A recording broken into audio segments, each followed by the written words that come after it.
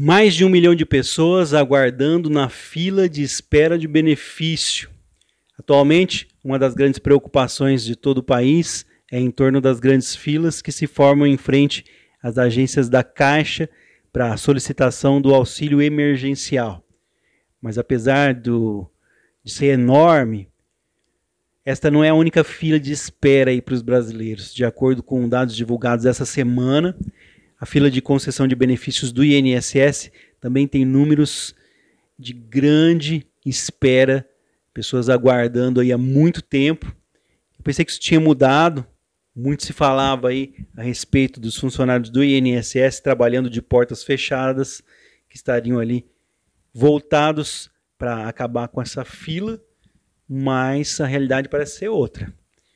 Resumindo aqui, hoje cerca de 1 milhão e 100 mil segurados esperam uma resposta às suas solicitações de concessão de benefício. Com as agências fechadas, o atendimento está comprometido. Apesar disso, o órgão detalha que o procedimento pode ser feito aí através do portal Meu INSS de forma totalmente online e segura, evitando aglomerações e a contaminação pelo coronavírus. A questão é que a grande maioria da população brasileira não teve oportunidade de estudar, não tem acesso à internet, não tem facilidade, intimidade com tecnologia, com telefones celulares e fica prejudicada por isso. São pessoas que precisam da ajuda de terceiros, isso é um problema. A questão que vem em discussão mediante a problemática de que a fila, apesar de não ser visível, ela ainda é muito grande e também abarca aí pessoas que consideram importante e emergencial não só as atitudes do governo para ajudar durante a pandemia, mas que sejam solucionados esses benefícios da Previdência. Segundo o Instituto, a fila vem caindo com o tempo e desde o início do ano aí, a redução foi de 200 mil requerimentos. É pouco. Vou falar por quê. É, o procedimento foi facilitado logo após aí dos pedidos que tiveram início na internet. Por que, que eu acho pouco? Porque eles querem zerar a fila. E veja bem qual é a situação. Para tentar otimizar o atendimento e agilizar os procedimentos de concessão, o INSS vai realizar contratação sob regime temporário de aposentados e militares com atuação prevista aí por até seis meses.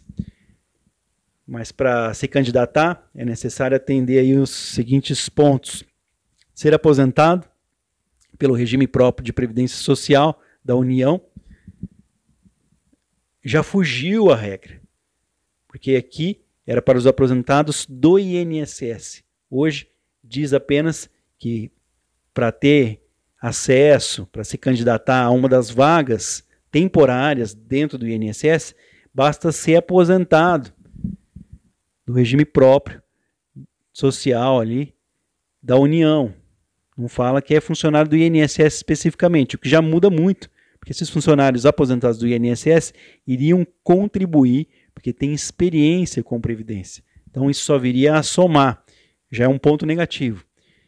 Aí, outro, por outro lado, militar inativo para o desempenho de atividades de natureza civil. Além dessas oportunidades aí, ainda haverão outras para contratação aí do lado da perícia médica e atuação na concessão e revisão de benefícios e demandas judiciais, mas para essas ainda não foi divulgada a quantidade. Diante desse cenário de crise, nós vamos entender por que ainda não é o suficiente. A situação começou quando a plataforma da concessão dos benefícios, o meu INSS, ficou superlotada e não conseguiu se atualizar aí com as novas regras da Previdência Social. Atualmente, são 2 milhões de pessoas na espera na concessão do benefício. Desde que se fechou as portas do INSS, vão fazer dois meses aí que as portas estão fechadas, eles falaram que adiantaram, adiantaram, e eles conseguiram só 200 mil. É pouco perto desses 2 milhões aqui. O órgão pontua que o sistema de concessão de benefícios está uh, estão tendo aí que ser atualizados para se adequar às novas regras da Previdência, tendo em vista que os cálculos não são realizados de forma manual, eles exigem, né? Ou melhor, eles têm uma série de cálculos, porque são várias as regras de transição do antigo sistema de previdência para o novo, que tem dificultado, dificultado bastante o trabalho, sim, mas a questão é 200 mil requerimentos desde que o INSS fechou, com toda a propaganda que eles estão fazendo, acho que é muito pouco. Se tem 1 milhão e 100 esperando pela resposta de pedido que foi feita agora, quer dizer que esses 2 milhões já estavam anteriormente. Então, é uma questão aí de ver os números. Não está adiantando muito as portas fechadas do INSS. Adianta para não contaminar a população. Mas não está tendo, tá tendo muita vantagem aí com relação, porque esses funcionários estão hoje dentro da Previdência única, especialmente ali para tentar exclusivamente para os trabalhos internos. Então deveria ter sido feito uma, um remanejamento melhor ali. Vamos esperar que a contratação desses civis aqui militares que eles consigam terminar com essa fila aí.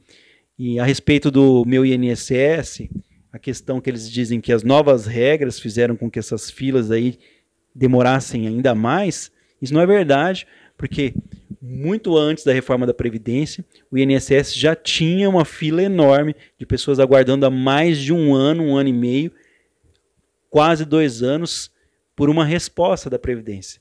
Então, isso não é verdade. Como a gente tem uma experiência larga aí, trabalha há mais de 15 anos, é obrigado a acompanhar, ficar atualizado. Não condiz com a verdade, com a realidade. Mais de um milhão de pessoas já aguardavam muito antes da reforma da Previdência. A reforma da Previdência foi no final do ano passado, foi em novembro.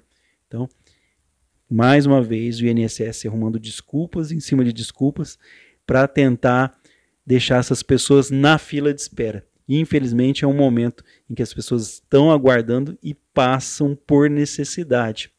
Vou ficar por aqui. Essa informação foi publicada hoje, dia 7 de maio de 2020. Vou deixar aqui na descrição do vídeo para vocês que tenham interesse também acompanhar.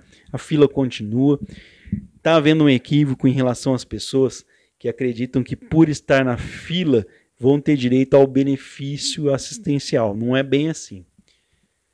Aquelas pessoas que tem o BPC, que estão aguardando, elas vão ter um adiantamento. Apenas essas pessoas, um adiantamento de 600 reais enquanto houver a crise do coronavírus, enquanto não sair a resposta do pedido do benefício assistencial, estão na fila aqui do INSS de mais de um milhão aqui. A questão é o engano. As pessoas que fizeram o pedido na Previdência, mas tiveram seu pedido negado, elas entraram com recurso, elas estão na fila de análise, essas pessoas não vão ter acesso ao benefício. Vai ter acesso quem pediu o benefício ainda não teve a resposta. Quem fez recurso, porque foi negado, é outra situação. O mesmo para as pessoas que recebem auxílio doença, elas também estão se enganando aí. Eu vou fazer um vídeo sobre isso, achando que o benefício vai ser prorrogado, o benefício que é temporário, vai ser prorrogado automaticamente. Isso não vai acontecer. É necessário que você, se tiver interesse, 15 dias antes, pedir o um novo benefício, uma prorrogação, nova perícia. Mas esse é assunto para outro vídeo. Vou ficando por aqui. Daqui a pouquinho volto com mais informações para vocês. Compartilha nas redes sociais para aquelas pessoas que estão aguardando. A situação da fila é a mesma. É só historinha. Vamos esperar que essa contratação aí de funcionários que vem sendo falada e publicou e não sei o que, e até agora nada sem, sem falar que esses funcionários vão ter que ter um treinamento. Então, portanto, a coisa ainda vai muito para frente. Daqui a pouquinho eu volto com mais informações. Sempre vou deixar aqui na descrição do vídeo as notícias que são publicadas para você acompanhar também. Muito obrigado pela sua presença, pela sua paciência. Até o próximo vídeo.